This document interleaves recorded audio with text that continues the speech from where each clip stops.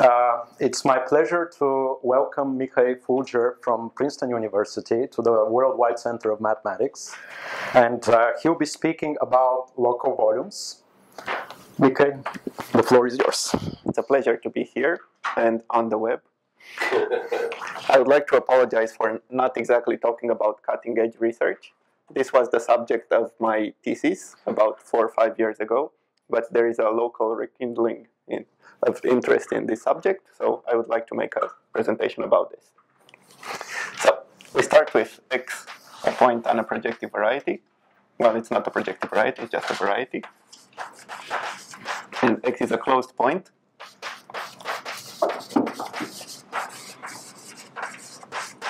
And we know how to compute the Hilbert-Samuel multiplicity of x.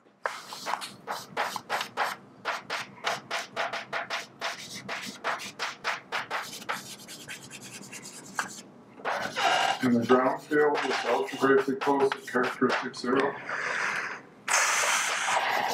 So later in the talk, I will need characteristic zero, but um, I'm happy with algebraically closed for now. But just to be sure, let's say we work over C. So there are several ways of defining the Hilbert-Samuel multiplicity. One of them is to look at the limit as at the limit as m goes to infinity of the length of OX mod the maximal ideal supported at the point raised to the power m. Hope we don't conflict too much with notation by m to the power n over n factorial, and n is the dimension. Another way of looking at it is as negative e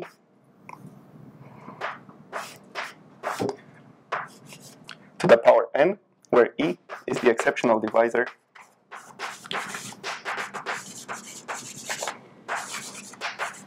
of the blow-up.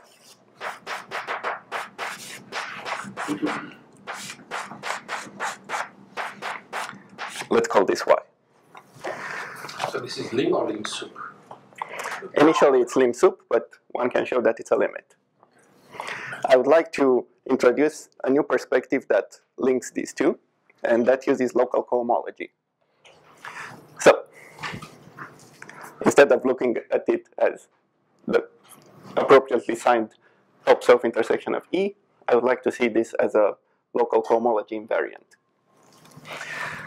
So first, we observe that the length OX mx to the power m. So this can be seen as the global sections over x of that same module.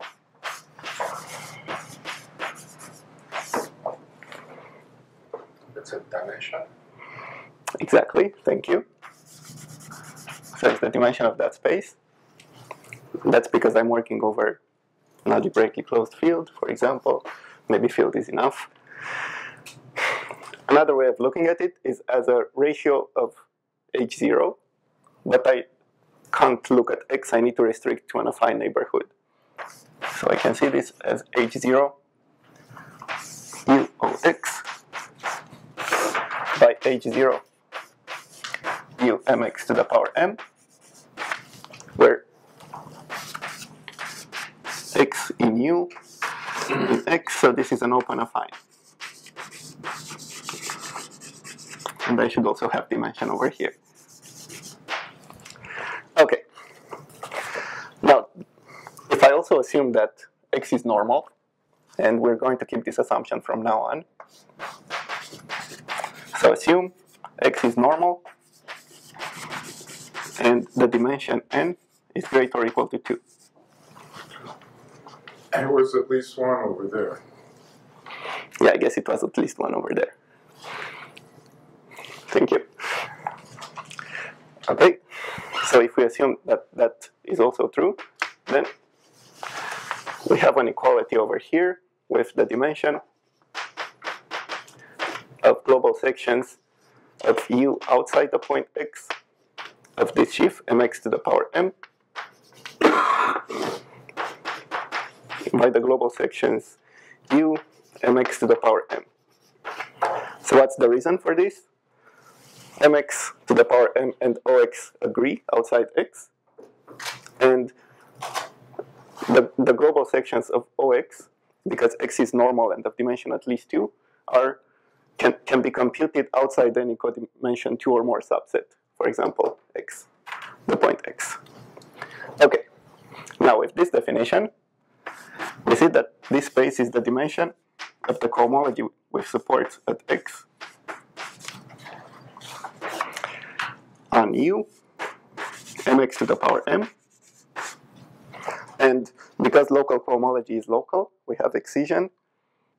So this is the dimension h1x of x mx to the power m.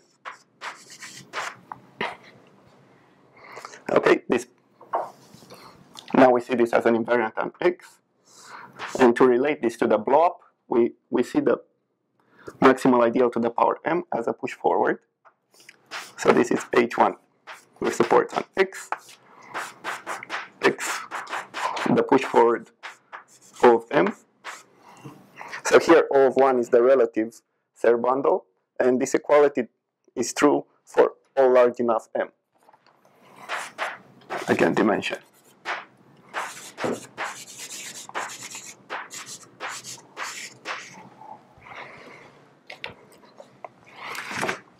So now if we change the setup a little bit,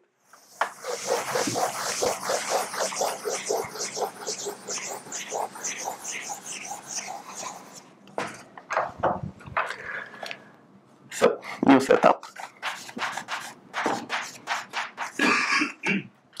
so we have pi from y to x, a birational morphism, proper birational, and we have x normal. Of dimension at least 2, and we have x a closed point on x, and we have d a Cartier divisor on y,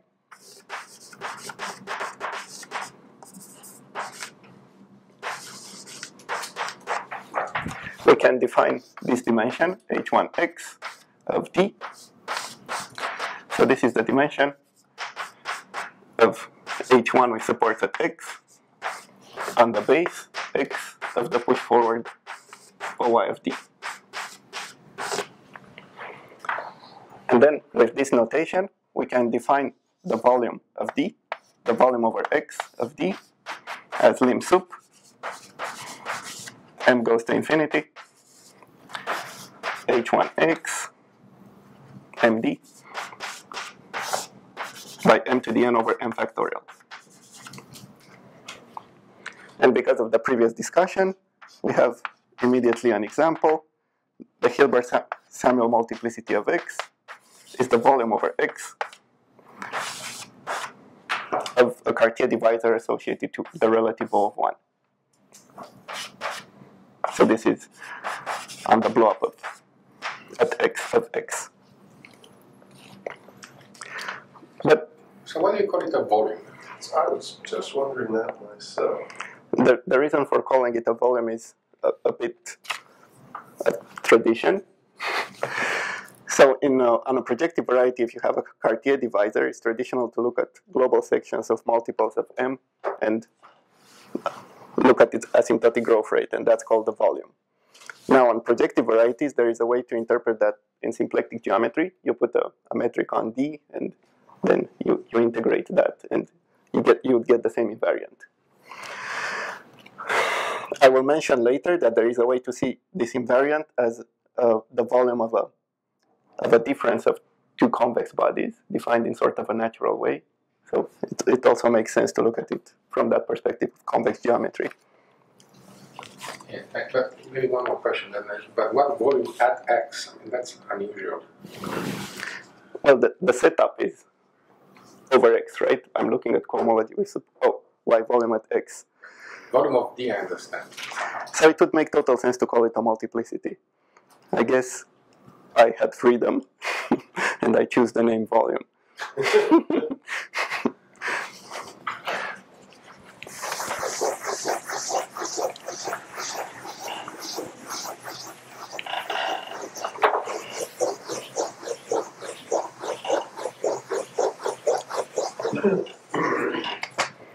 another example.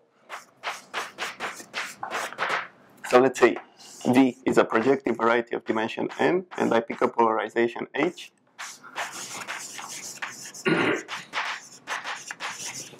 Polarized projective. And I look at X, which is the affine cone over V.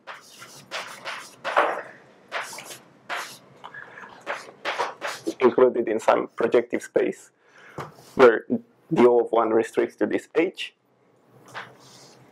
So this is none other than the spectrum of the direct sum of global sections on V of, let's say, MH. M greater or equal to 0. This cone has a distinguished point, the vertex,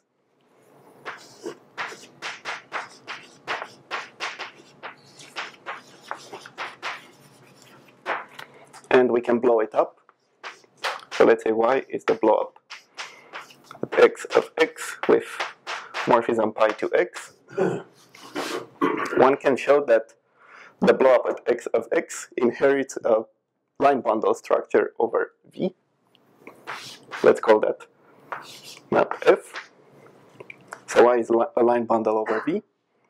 And then any divisor on Y, any Cartier divisor on Y will be pulled back from D, from V. So let let's say L Cartier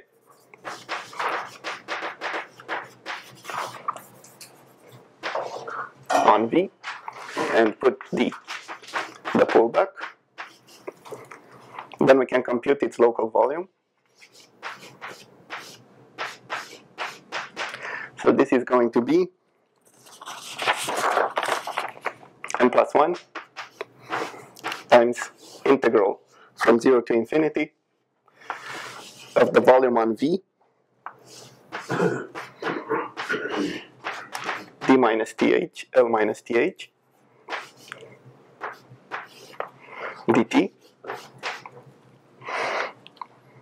So this volume over here is the asymptotic growth rate of global sections on V. Uh, this looks like an indefinite integral, but or improper. Looks like an improper integral. That, that's what I meant to say. But in fact, because h is ample, at some point L minus th will stop being effective or big, and then the volume is zero. So I'm, I'm integrating over a finite interval. This will be the basis for, for many of my examples. Just a Stupid question. What if x is a smooth point? Yes. Then what is e of x? Does it depend on? So D is something on a on a birational model. So it, it depends on D. You just don't deviate, right? So if x is smooth, the dependence on x is gone. But Say the, the variety x, is Yes. smooth variety, right? Yeah. It can be. Right? Yeah. Sure. So is ex of d independent of x, little x, then? It's connected. depends on the map. So for example, if you are, if you have a smooth variety and you blow up a point and you look at the exceptional divisor, over the point you're going to see one, the Hilbert-Samuel multiplicity, and over any other point you're going to see zero. Because there's no D. Yeah, there is no D. There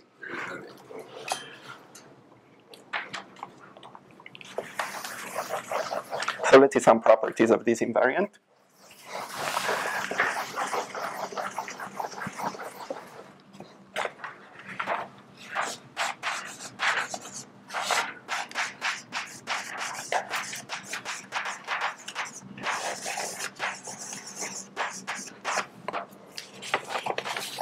So before that, let's put n1 y over x. So this is the relative numerical R space. It's actually of pi, that's the map pi. So what is divisors on Y, and we say that one one such is relatively numerically trivial if its intersection with any con- curve contracted by pi is zero. And one can show that this is a finite dimensional real vector space. So then the first statement is that the vol x is well defined.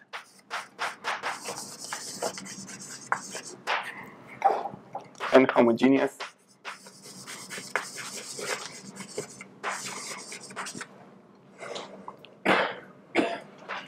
locally Lipschitz continuous.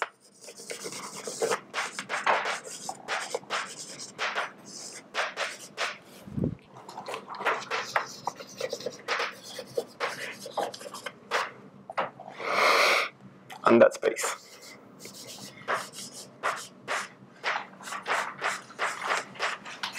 So, well defined means it's independent of the numerical class, meaning if I take two divisors that are relatively numerically equivalent, then the volume, local volume will be the same. And homogeneous means that the volume over x of md is m to the n volume over x of d locally Lipschitz continuity is the condition that that you need to say that if a function is continuous on rational numbers, then it extends to a continuous number function on real numbers. So for example, if you look at 1 over x minus root 2, then if you look at rational numbers, you'll have no problem. But if you want to extend it continuously on at root 2, you will have a problem. And then you, you need some local uniform continuity. So, I gave you the definition for Cartier divisors. Using n-homogeneity, you define it for rational numbers. Using this continuity prop, special continuity, you can extend it to real classes. So divisors with R coefficients. Next, we are interested in the monotonicity, monotonicity behavior. So if E is an effective divisor. on Y, such that pi of x, pi of E is the, the point x, then the volume decreases in this direction.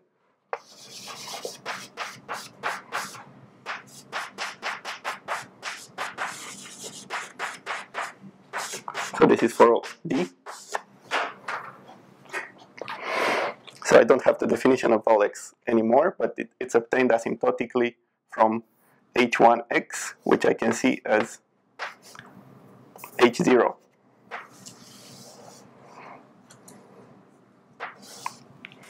So how do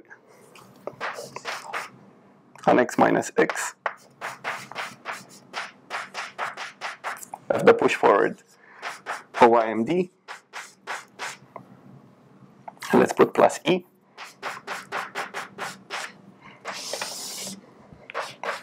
by global sections, and let's say x is replaced by an affine u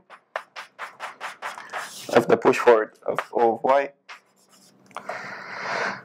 and d plus e.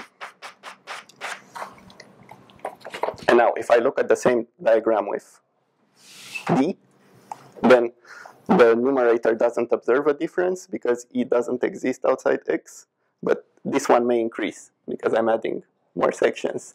So I'm, I'm dividing by more, which means that asymptotically, I mean, at every step it will decrease, so the volume will also decrease. So let's, how should I say this? Let's say that we have a surjection from h0 u minus x pi lower star OYMD by h0 u pi lower star OYMD. Okay, that's that's what justifies that inequality.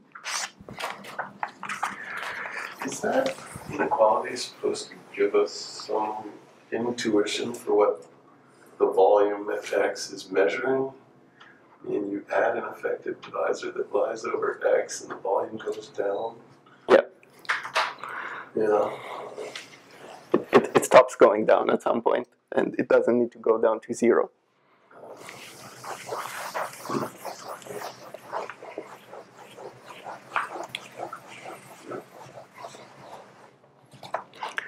The formal definition of the space ny and one y over x. Can you explain it a little bit more? So we, we take D Cartier and Y, and we say that D is, let's say, relatively numerically trivial if D dot C is equal to zero for any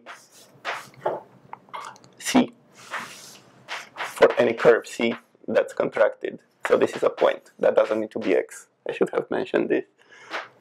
So remark, although the examples that I presented so far, which are the blow-up of a point, they were both blow-ups of points, have the property that there are isomorphisms outside the point. In general, we don't require that. So pi need not be an isomorphism of x. Okay, parenthesis. So this is a, an equivalence relation, and then n1 y over x. So this is the. I'm not going to take n1 of x, but I, will say Picard of y modulo numerically relative numerical equivalence, and then tensor with R over Z.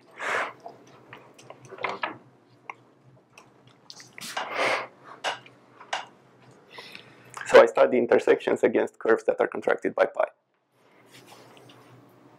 So that's a vector space? Yeah. Uh, the one is defined with And it's a finite dimensional. defined over Q. This one is over Z. It's a it's torsion free, and then we can tensor with R to make it a vector space. Okay, so where was I? So there is a part two to part two. So two prime. If f is effective, and pi of f is not x, it's either a divisor on x or a subvariety of or a subvariety of x that's not just the point x, then the volume actually increases in that direction.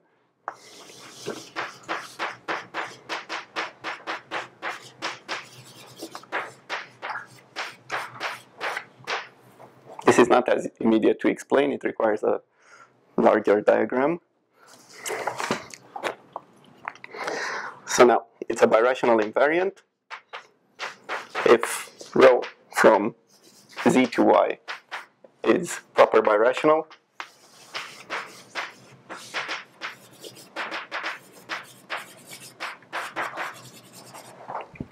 And the volume over x of the pullback by rho of d is the volume over x of d.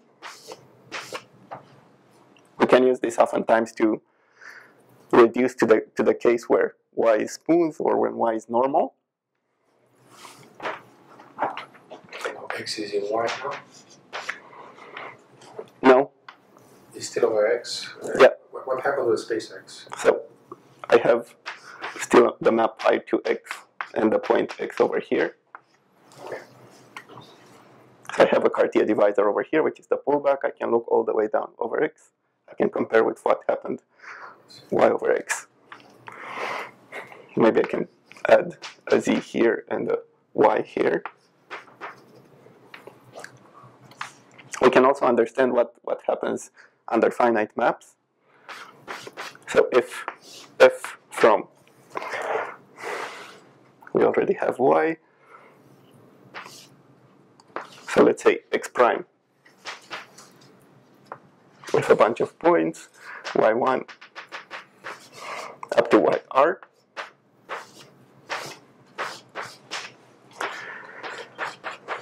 To xx finite.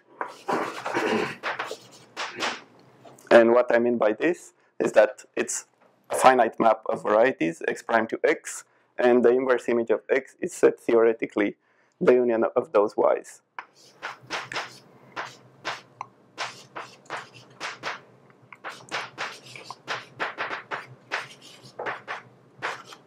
No scheme structure is observed. So then if I take a birational map over here, y, and one over here, y prime, so let's call them pi and sigma, and I managed to find a generically finite lift. So G is generically finite.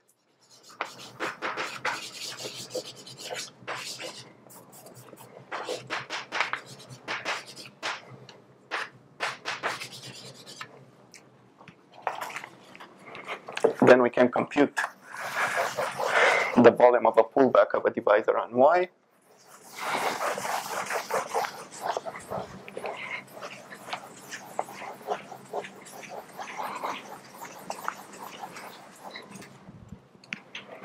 So let's say D is Cartier on Y.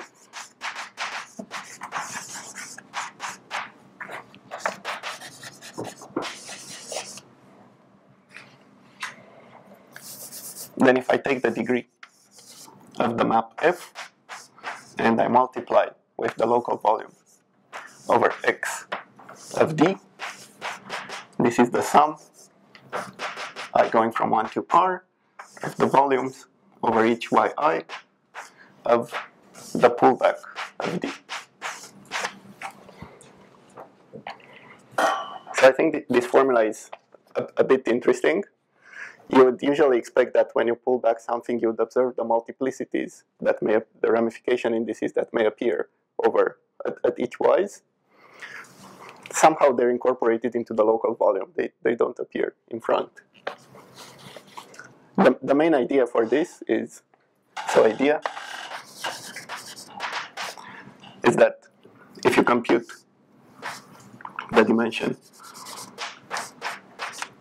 h1 over x on x of the pullback oy of md, and your tensor over here with a sheaf f such that the rank of f, let's say it's r, well, maybe not, R, not the same r, let's say s, then asymptotically, well,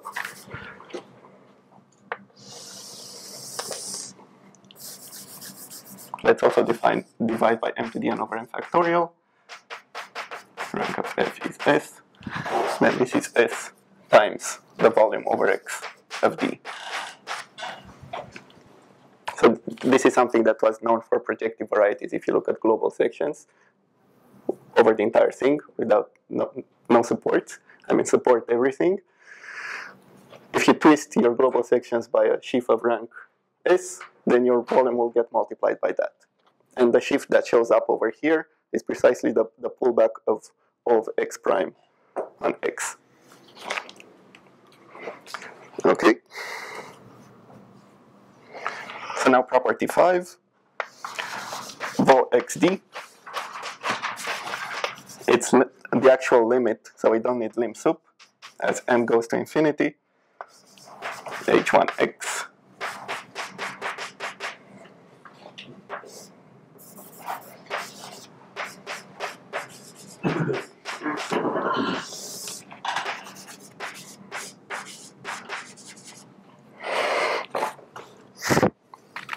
the idea over here is pretty complicated.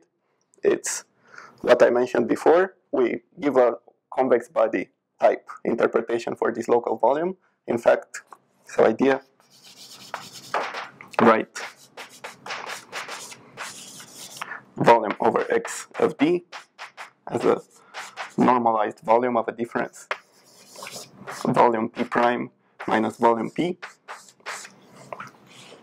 where p prime and P are Okounkov type bodies.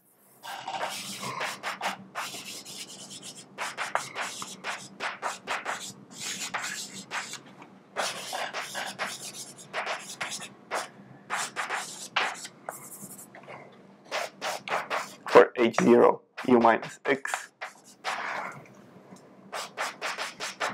pi lower star O Y and D and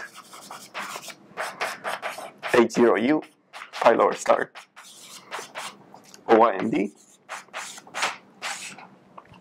So on projective varieties, when you have a graded linear, when you have a graded linear series, there is a natural way of associating to that an convex body, which is called the Okounkov body. It's constructed from a flag and, and your variety. Over here, we work with these infinite dimensional spaces of sections. So U is affine, and it contains X. What we're going to get, what we're going to get is infinite convex bodies, but their difference is finite. So a picture. So when X is a, say, toric variety, do you get usual convex bodies?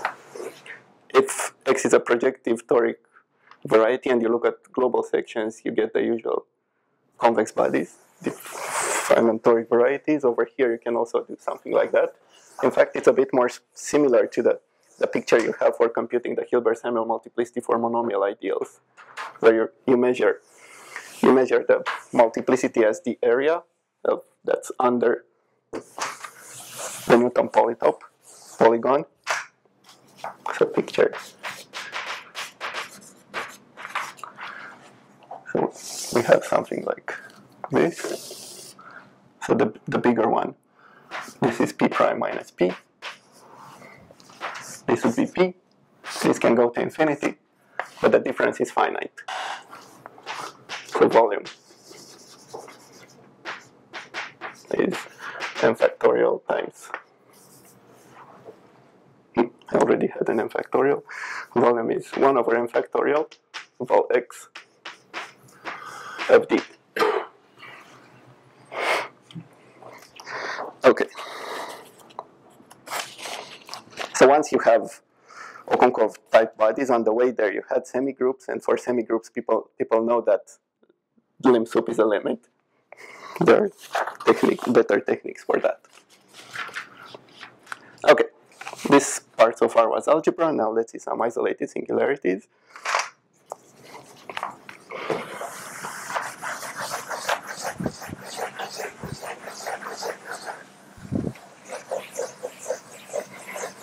So what is one unknown for toric variations, say by Khovansky or some of these people? What? Which part they haven't That looked at? one that just erased this. Uh, So it, it, it- it's pretty easy to, to write this when you have a birational toric morphism.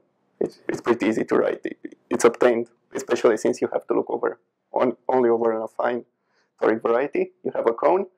To make a birational map, you refine it. And to whenever you have a fan, you can obtain a convex body in some way. So to obtain P, you look at the fan downstairs for the push forward of your divisor seen as a Weil divisor, you can repeat that construction. And for P prime, you look at the fan upstairs. But that's it. Maybe it's the other way. It might be the other way around. I might divide the one on x by the one on x prime.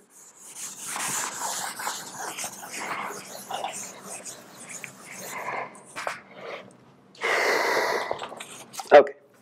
So let's move on to the volume of an isolated singularity.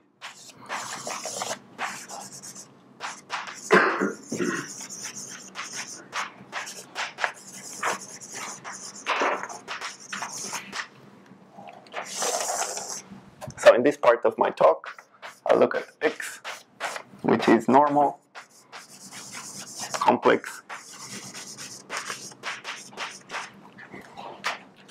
isolated singularity. You can think of a germ of isolated singularity.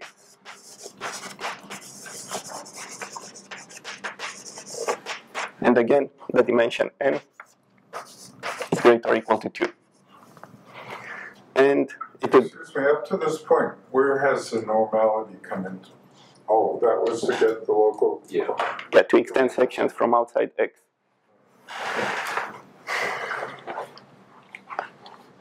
Other than that,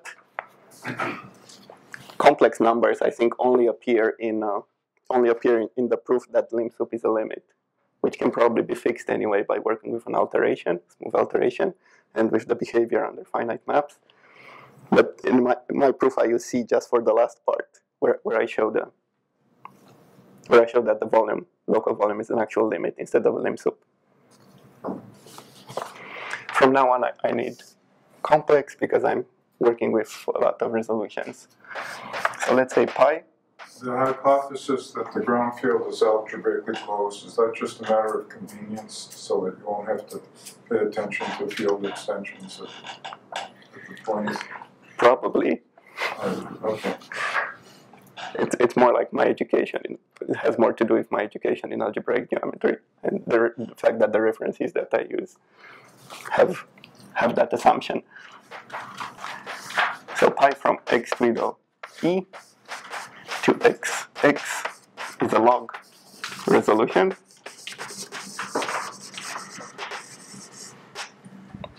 So x twiddle is smooth. Sits over x, so E is actually the inverse image of x. It's a divisor.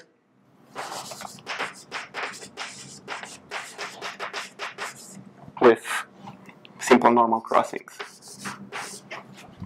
I look at I looked at theoretically, so I assume that this is reduced. Reduced divisor with simple normal crossings. Okay. And we, we define the volume of the isolated singularity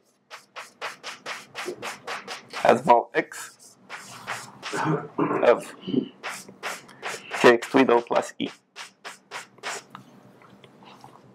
So this is the canonical class on x twiddle, which is nice and Cartier because this is smooth, and at e, that's the local volume. This is motivated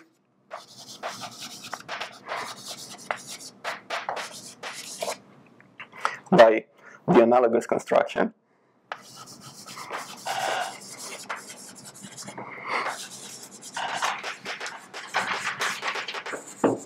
When n is actually equal to 2 by Jonathan Wahl.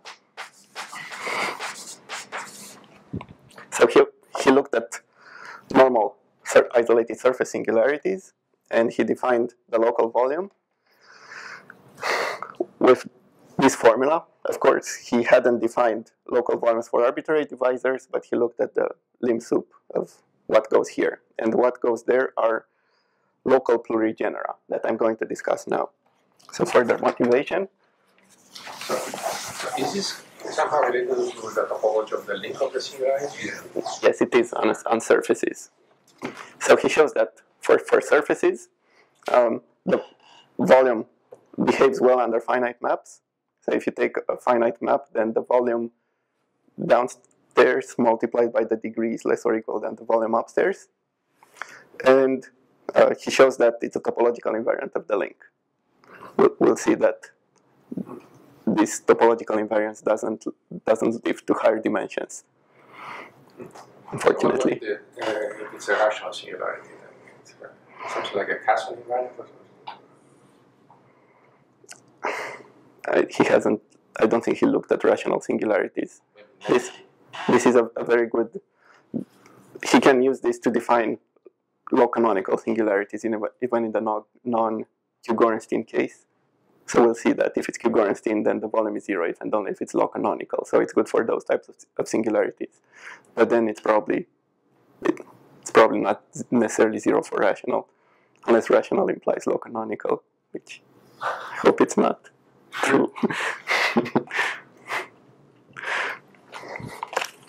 Okay. So I, I was saying that the story over here can also be seen as starting from trying to look at plurigenera. So first let's start with the genus of the isolated singularity xx. So this is the dimension of the fiber of Rn minus 1 pi lower star OX twiddle. So we look at the fiber at x. This is independent of the resolution pi of the singularity. It, uh, it was defined by Yau.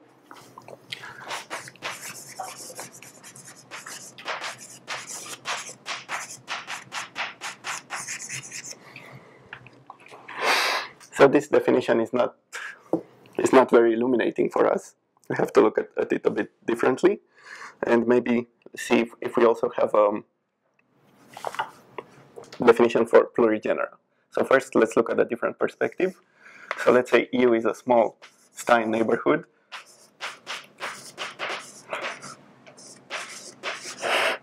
of X. Then we can see this plurigenus. So let's call it TG XX.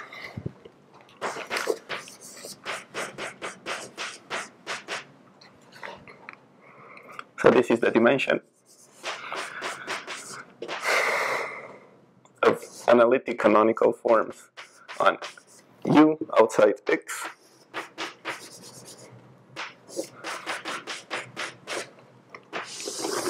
mod out by square integral, integrable canonical forms outside X.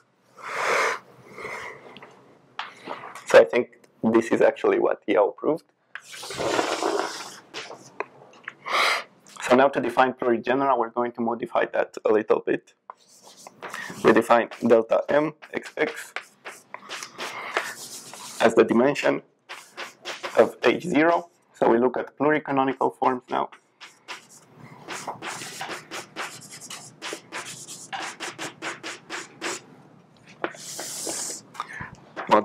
Mod L2 over M u minus x. So this space over here, these are holomorphic M canonical forms omega such that the integral outside x on u omega wedge omega bar to the power 1 over m less than infinity so this definition was considered by Watanabe.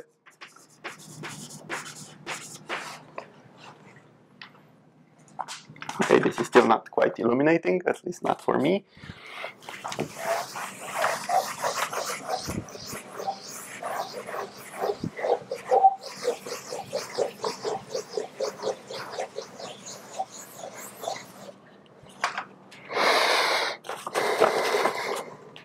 Okay, then Sakai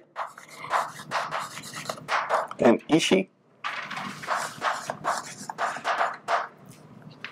show that we can compute delta m, the local plurigenus, as the dimension, now in the algebraic category of u minus u twiddle minus e, ox twiddle,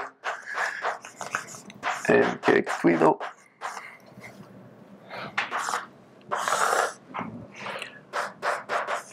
by h0 u twiddle ox twiddle mkx twiddle plus m minus 1 e.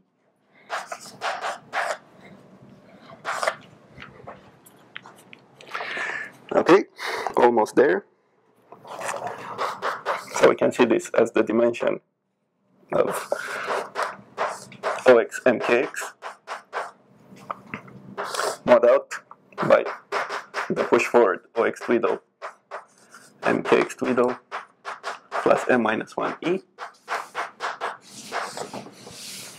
So this is a skyscraper sheaf centered at X. So it makes sense to talk about the dimension. So this is for choices.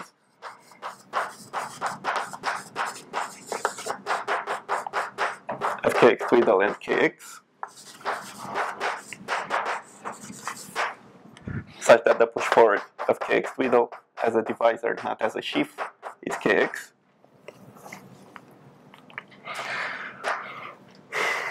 Okay.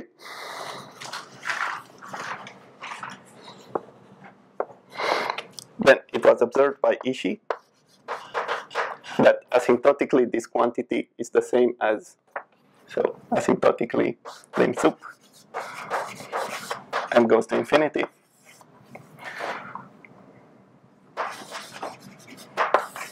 dimension OX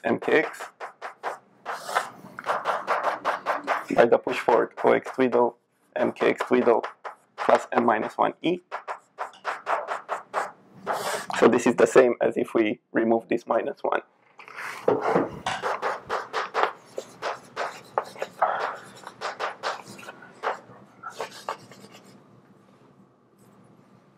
The dimension is before the fraction.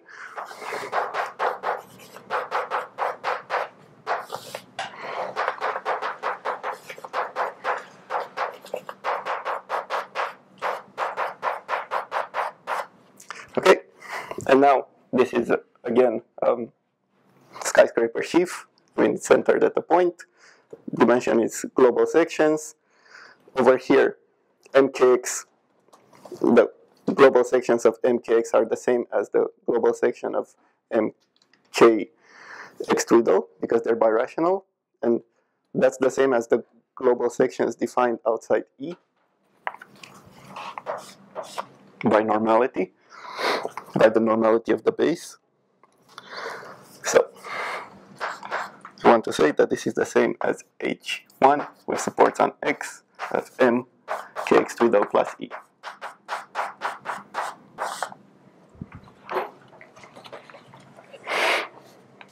So that again says that if I look at the asymptotic growth, I get this formula that I started with. We see it defined as, we see these guys as plurigenera. Okay. Let's see an example.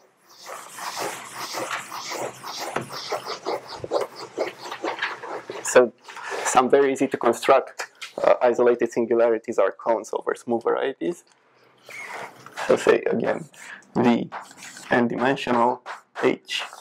This is now a smooth, complex, projective, and polarized manifold.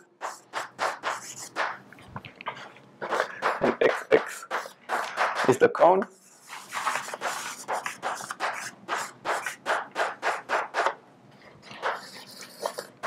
Then the volume of the singularity is n plus 1 integral 0 to infinity of the volume on V of k V minus th dt.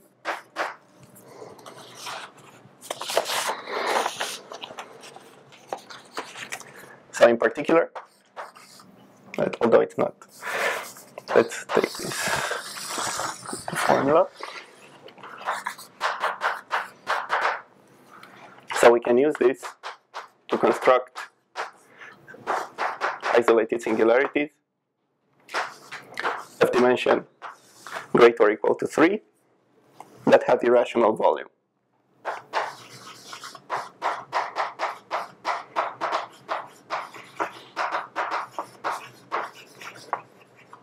So this volume can be irrational.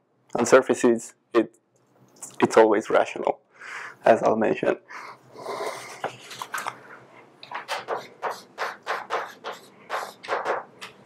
Example. What does it say about the link of the singularity now, these circles? This whatever it is. n greater or equal to 3. Yeah. So now the volume is not an, an invariant of the link in dimension greater or equal to 3. Is it obvious? Why not? It's not obvious, but so if you look, I can construct a, a family of isolated singularities such that the volume is not constant.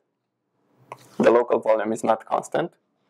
The volume of the singularity is not constant. However, whenever you have a family of isolated singularities, the links are apparently always homeomorphic by differential geometry results. You mean a what? You mean a, a family with some kind of triviality condition? So the, the goal is to apply the Ehresmann, fibration, yeah. yeah, something like that. Yeah. So the, the family that, that I have is the fam. It's a double cover over the family of blowups of P2 at three points, and I take some cone over this. I don't know if it's very if it's very regular, but the starting family, complex links. Right? So what do you vary then in this family? The, the position of the points when when the points? and you blow them up. I'll take a double cover. Can, can you draw a picture a little bit? That would be interesting. I'm not sure. Points, it doesn't matter. Yeah, I mean, uh, you do some kind of cross ratios or what? So when the points are collinear, you get one answer. When they're, when they're, when they're not collinear, you get another answer. I'm- I'm just objecting to when you have any family of isolated singularities, the real links don't change in the family. That's just not true. I mean, you talk about the homeomorphism type. The homeomorphism type of the link. Yeah. It's not only a Milnor family, it's not in the league. Yeah, but So I, I stole this from somewhere. I, I can't claim. if, if you mean in a, in a fixed big ball, you can move that, but then you have to go smaller to get the complex link. I mean, the real link.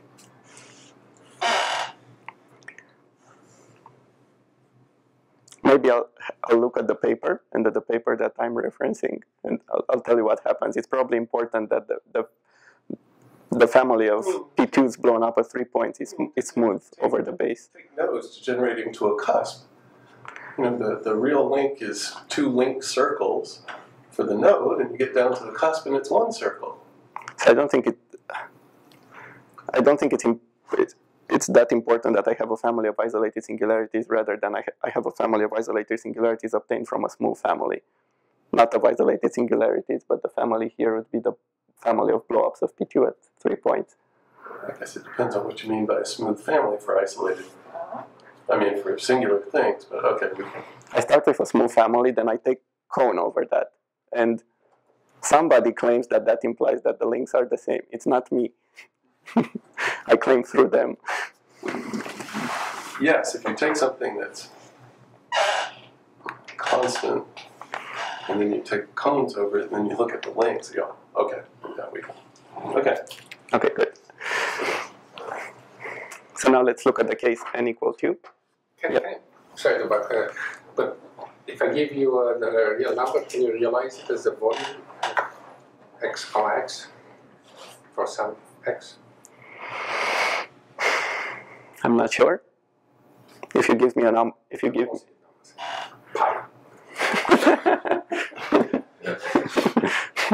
I don't know. So for example, on, on projective varieties, the set of volumes that, that you could get, it's known to be countable, although you could get any rational number and some transcendental ones. then they know that the set of all of them is, is countable. I haven't looked at the equivalent result over here. I can tell you that if you have a number, you can also multiply it. So if you get, sorry, if you get a number via this cone thing, if you replace the polarization by 2h, then I think you're dividing by 2 your, your volume, or by 2 to the n. Cone itself, right? The set of numbers you get. I mean, a rational, some, yeah, something like that. So these examples are independent of Cutkosky's work? He and the students? The. The irrationality over here is, again, a cone over a double cover of an abelian variety al- along? Cutkosky. So I think that starts, that idea starts from him, although in, in, in this case it appears in work of Stefano Urbinati, who was at Utah, not, at, not a student of Cutkosky. Not for vol x, but the idea of looking at a double cover of a self-product of elliptic curves. Him? Stefano Urbinati, I think he's young. something similar in his example. Cutkosky looks at projective bundles over that, and we look at double covers and then cones over that. So you have E cross E. E is an elliptic curve. The Picard rank over here is 3, 3, and the cone, the effective cone, is round. You take two general ample classes, you, you do a cyclic cover with respect to double cyclic cover with respect to two times one of them. So let's say this is D and this is H. You do a cyclic cover, double cover with respect to D, and then you take the affine cone over the pullback of H. And if these are general enough, then that integral will will become irrational, taking advantage of the fact that if you move in that direction, you may hit the boundary in an irrational point. Even if these were integral Cartier, this may be irrational.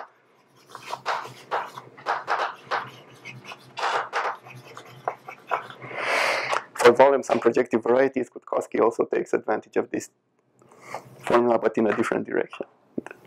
He gets some integral that appears when, when he takes the direct sum of d plus O of minus h and projectivize that, the relative O of 1, when you compute sections and take the asymptotic form, you'll get to some formula of this type. He gets a quadratic irrationality.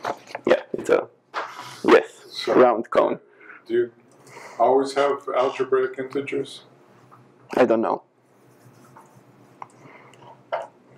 But I don't see how you could, you know, polynomial, how you could fit vol into a polynomial. Okay. Maybe let's leave examples for now. I talked about them. Let's see some of the properties of vol x.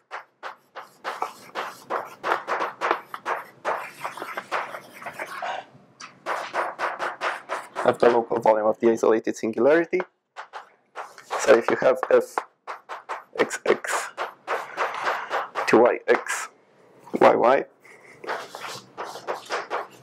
a finite map of isolated singularities, and what this means is that it's finite and the inverse image of y is just x. So totally ramified at x. Okay, then the volume xx is greater or equal to the degree of f times the volume yy. You might object and recall that, that before we had we saw something like this where we have we had an equality. What happens over here is that the pullback of this class from y to x is not it's not the corresponding class on X. It differs by it differs it differs by some exceptional things and by some negative effective things that are not over X. And using the so for that we use the uh, ramification formula. And then the inequality comes from the monotonicity properties of the local volume. I think the argument is a bit cleaner than in Wahl's work, we also observe that on surfaces, there is an advantage that comes from working with local volumes. If you don't, then you start introducing some limits of some quantities. Local volume streamline that computation. Okay, then when is this zero? So first, in the context of the previous in, in the previous setting, if volume of x is 0, then the volume of y is also 0. That's, that's because the inequality. The volume of x is 0 if and only if h1x and kx twiddle plus e is 0 for all m greater or equal to 0. So this is saying that the only way that the volume is 0 is if the function whose asymptotic growth of radius measures is identically 0. This should be a bit surprising. And that happens if and only if the push forward of OX twiddle MKX twiddle plus E is OX MKX for any m greater or equal to 0. If additionally xx is Q Gorenstein,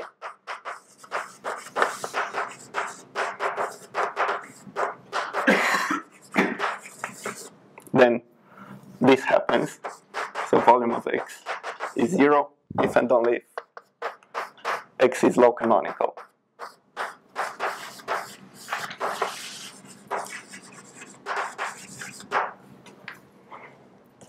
But you said for surfaces, you don't know whether this can be greater than zero? It can be greater than, than 0. You take some cone over a funny curve.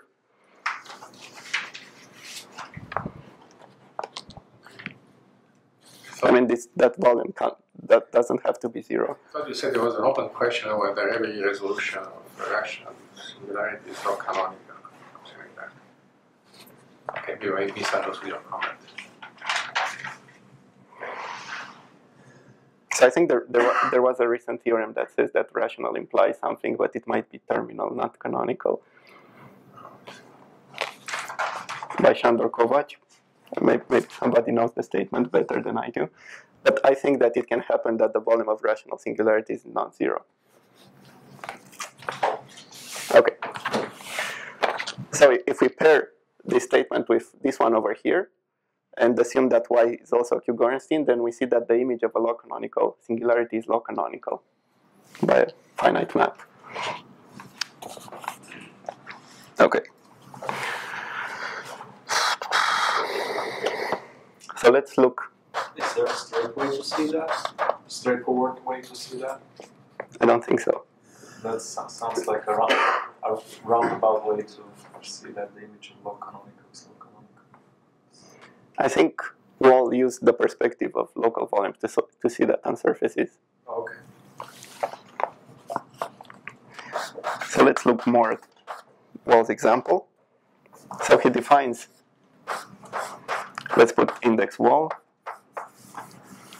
He initially defines the volume of an isolated singularity as negative p dot p, where p is the positive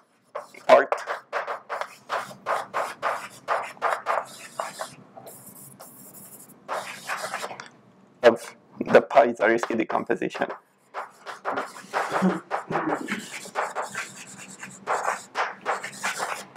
of kx twiddle plus e.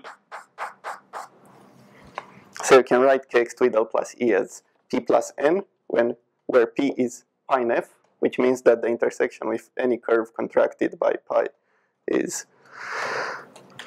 non-negative, and n is an effective divisor.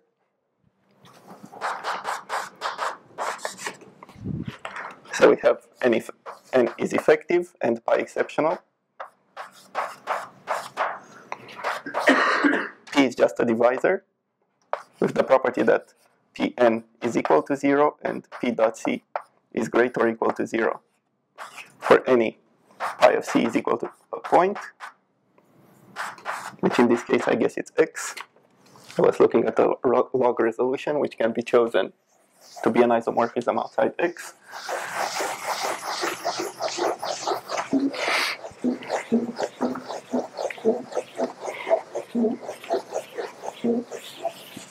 And then I guess it's a theorem of Wahl. Wahl.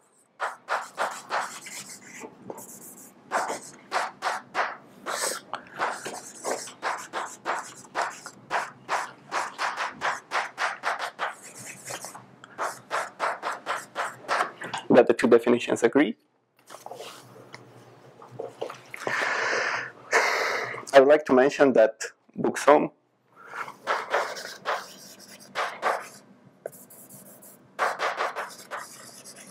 Favre and Jonsson. Boucksom, Favre, de Fernex have generalized the negative p dot p definition to arbitrary dimension.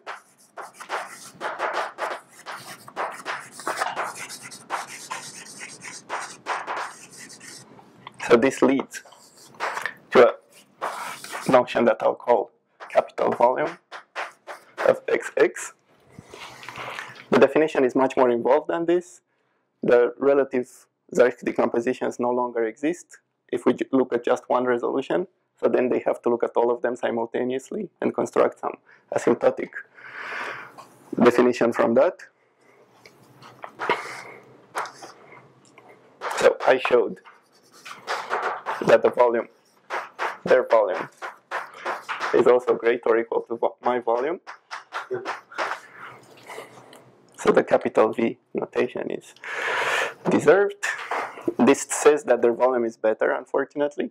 So it says that the vanishing of their volume says more than the vanishing of, of my volume. And in fact, they construct examples. So here, example. From de Fernex-Favre.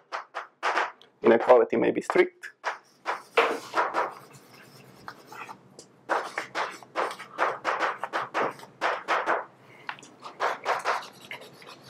However, they show that inequality holds in the Q-Gorenstein case.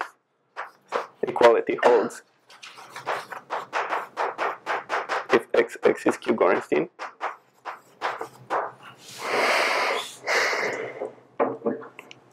On the other hand, because their definition of the volume has to take into account all resolutions of x, this is pretty hard to compute outside, outside this case. However, for some cone singularities using not this volume but vol x for different divisors, I was able to compute that and show that it may also be rational even when this doesn't hold. So example,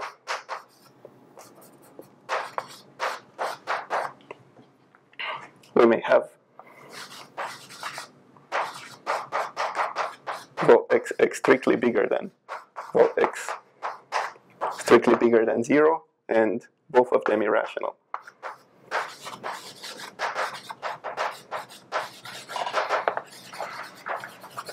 Although I haven't really found examples when one is irrational and the other one is rational, but at least we have strict inequality.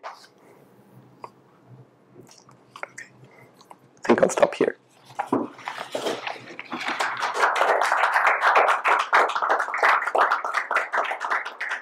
Okay, questions, comments?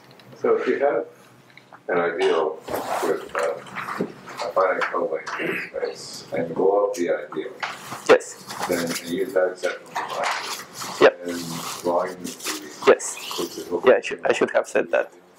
That's good. Also, if, if you have an, an ideal and you blow it up, Yeah.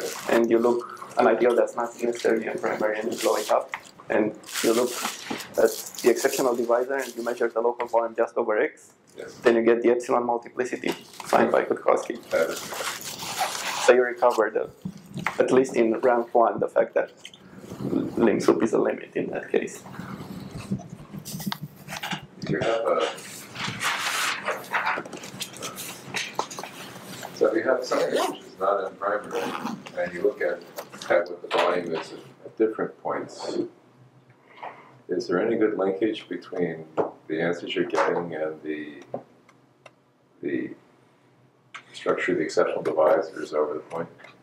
What I'm thinking So if it- if it- is that is that somehow you somehow you might have a situation where at the at the at, at X you have a vertical component to the exceptional divisor, then you're buying up vertical components, of course. But you maybe you have something. Is can you So if you look at the normalized blow up, and if that doesn't observe divisorial components over some point, then the local volume will be zero over that point.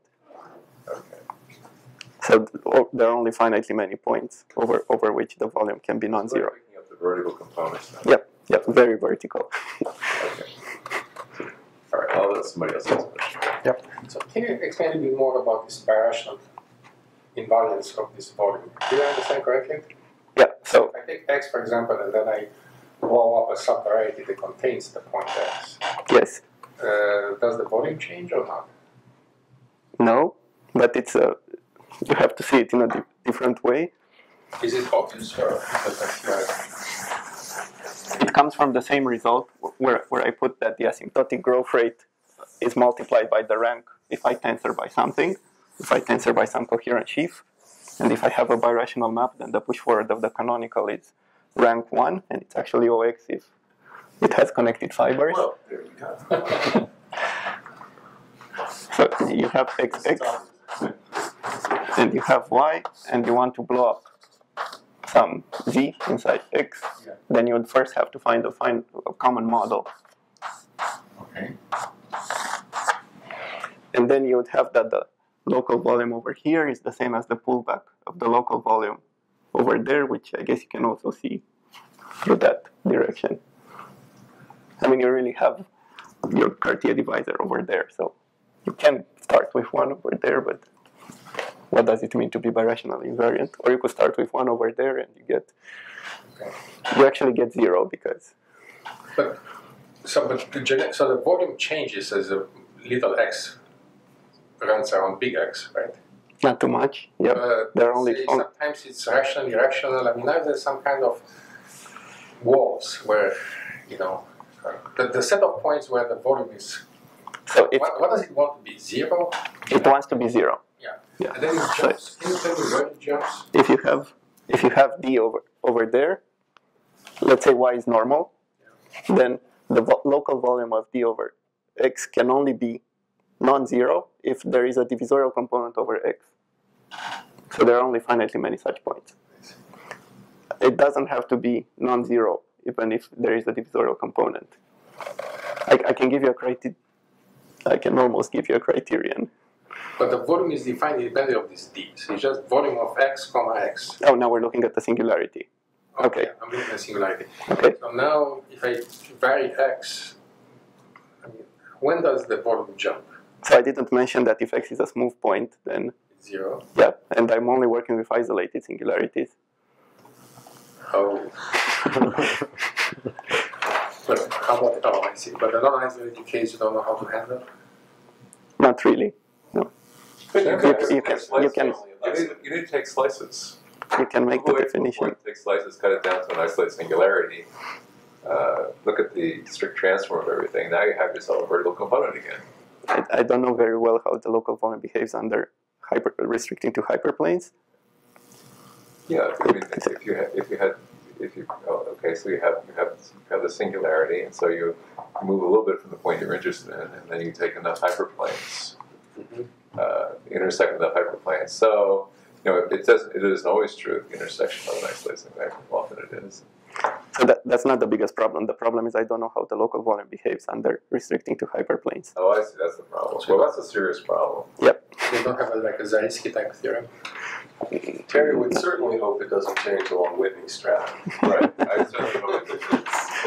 Yeah, but So, uh, I I have a question about the vanishing of the volume. Uh, Yep. Beyond the Q-Gorenstein case, do you know other examples where you can have vanishing of the volume? So if you look at on, on surfaces, there are non-Q-Gorenstein surfaces that are called log canonical. So if you, if you know their classification, I don't know exactly which are which. Like elliptic singularities or something like that maybe are not log canonical. They're, they all have volume zero. Okay. In fact, Wahl defines a normal isolated surface, surface singularity to be log canonical if it has his volume is zero. I see. If it's also Q-Gorenstein, it's the same as in the old sense. In higher dimensions, it's pretty. So I think in higher dimensions, little volume wants to tell you that X is almost log canonical, and I think the books Boucksom de Fernex Favre, they think that the vanishing of their local volume has more to do with log terminal. Are there more questions? Well, uh, is, is there a question? Yeah, well, so when is the epsilon multiplicity a limit? Does that, uh, do you get conditions for that statement?